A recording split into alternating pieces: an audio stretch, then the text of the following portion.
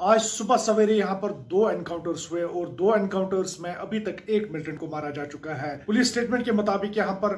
तुलीबल Sopore area में एक militant को अभी तक मारा जा चुका है, जबकि यहाँ पर बताया जाता है कि दो से तीन मिलिटेंट्स यहाँ पर भी छुपे हो सकते हैं और यहाँ पर एक और एनकाउंटर तुजन पुलवामा में अभी शुरू हुआ है, जबकि उसमें अभी बताया जाता है कि तीन मिलिटेंट्स यहाँ पर तुजन एरिया, जो साउथ कश्मीर में आता है, उसमें तीन मिलिटेंट छुपे हो सकते हैं। फ़िलहाल यहाँ पर दो एनकाउंटर्स अभी चल रहे हैं। दो एनकाउंटर्स में अभी तक सोपोर एरिया में एक मिलिटेंट को मारा जा चुका है, जबकि पुलवामा तुजन का जो एनकाउंटर है वो अंडर वे है और वहाँ पर अभी बताया जाता है कि तीन मिलिटेंट छुपे हो सकते हैं। फ़िलहाल यहाँ पर अगर हम पिछले 24 घंटों की बात करेंगे 24 घंटों में यहाँ पर पाँच एनकाउंटर्स लगे, उसमें जो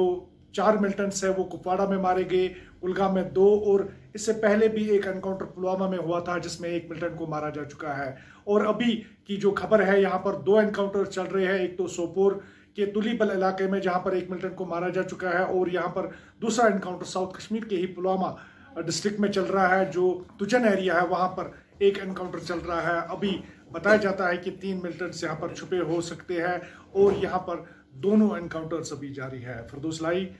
जेके न्यूज़ टुडे श्रीनगर नगर